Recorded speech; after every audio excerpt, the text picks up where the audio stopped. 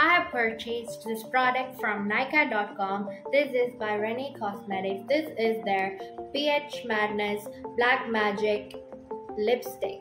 PH Stick. And let me open this up for you. This is what it looks like. And this product changes color according to the pH of your skin. So let's try this out.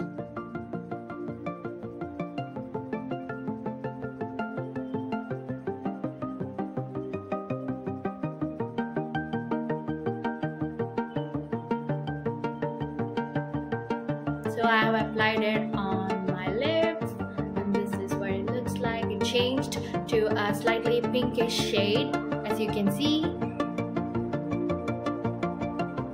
This product is available on Nykaa.com, Amazon and Myntra as well.